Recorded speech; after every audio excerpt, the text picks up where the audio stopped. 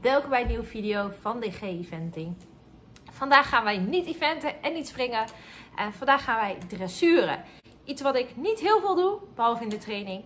Uh, maar ik heb vandaag online het platform We Ride gevonden. En dat leek me erg leuk om met jullie te delen. Um, ik wil even zeggen dat deze video niet gesponsord is. En uh, ik dus, dus deel omdat ik het gewoon echt een heel leuk concept vind. Nou, wat is We Ride? Het is een platform waar jij jouw dressuurproef naartoe kan sturen. Deze kun je dus gewoon thuis opnemen, in de bak, in je fijne, vertrouwde omgeving. Het enige wat je moet zorgen is dat je hele video, of dat je hele proef op video staat. Deze stuur je in en je krijgt vervolgens gewoon een protocol naar huis gestuurd. Met commentaar en cijfers. Een superleuk concept natuurlijk. Um, helemaal in tijden dat we het huis niet uit mogen. Dus ik neem jullie graag mee bij deze pagina. Dit is dus de website waar het allemaal op staat. Je ziet hier ook al recent ingestuurde video's direct onder staan. Registreren. Nou, en meer. Uh, We All Right heeft op verschillende niveaus dressuurproeven staan. Deze kun je vinden onder wedstrijden. Uh, je hebt categorie 1, 2, 3, 4 en 5. Um, Sharpie en ik zouden in ieder geval in categorie 2 vallen. Want categorie 2 is voor ruiters met een eigen paard. Nou, wat we gaan doen is we gaan even bij de protocollen kijken. Daar gaan wij de best passende categorie voor ons zoeken. En dan gaan we even kijken welke proef wij gaan insturen. Je hebt dus zoals ik net zei vijf verschillende categorieën. Um, categorie 1 zijn voor manegeruiters. Categorie 2 zijn voor individuele wedstrijdruiters met een eigen paard dus. Categorie 3 is voor ruiters met een lichamelijke of geestelijke beperking. Categorie 4 is voor pararuiters. En categorie 5 is voor nekroopruiters. Um, daar zijn wij in ieder geval niet geschikt voor. Dus wij vallen in categorie 2. Ook categorie 2 is dan weer opgesplitst in vijf verschillende groepen. De basis, licht, middelzwaar, zwaar en zeer zwaar. Deze vijf proeven hebben net zoals in de gewone dressuurwedstrijden allemaal hun eigen moeilijkheidsgraad. Omdat ik dit voor het eerst wil proberen en dressuur Chappies niet zijn beste kant is, gaan we beginnen met de basisproef. Dat is de makkelijkste proef voor individuele wedstrijdruiters. Nou, als we een basisproef willen proberen, gaan we dus het protocol van de basisproef downloaden. Het voordeel is dat hij gewoon online staat. Je kunt ook dus alle proeven bekijken om te kijken welke het best bij je past. Nou, wat we gaan doen is we gaan deze proef even uitprinten. En dan gaan we hem uit ons hoofd leren. En dan kunnen we hem deze week even rijden.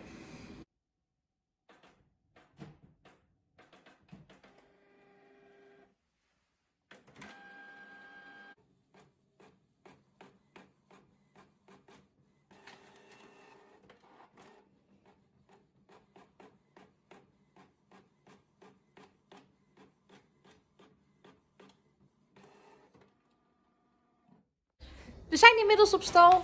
Ik heb de dressuurproef uitgeprint, uit mijn hoofd geleerd. Ik heb me omgekleed en nu gewoon Chappie klaarmaken om de proef te oefenen en hem te filmen.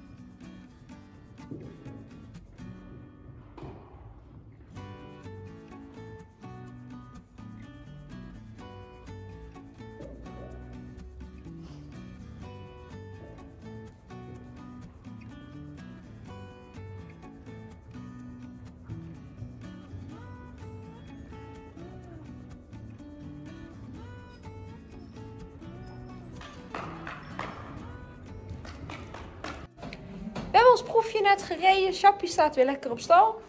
Ehm, ik ga het filmpje nu insturen en jullie zien me terug wanneer ik de protocollen terug heb gekregen. We zijn inmiddels twee dagen verder. Ehm, het insturen van de proef was een beetje moeilijk aangezien mijn telefoon wat problemen gaf. Maar het is inmiddels gelukt. En ik heb mijn score terug. En ik heb een score gehaald van 64,6%. En ik zal jullie even laten zien hoe het protocol eruit ziet.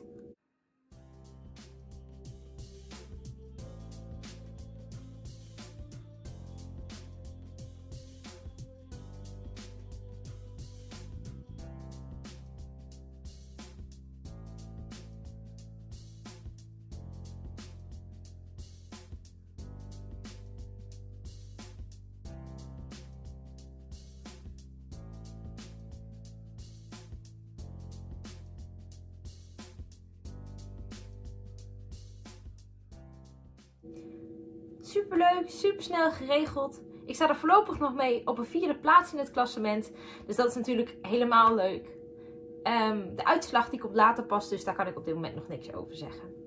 Bedankt voor het kijken naar mijn video. Vergeet vooral deze video geen duimpje omhoog te geven als je hem leuk vond en te abonneren op mijn kanaal. En dan ben ik volgende week terug met een nieuwe video.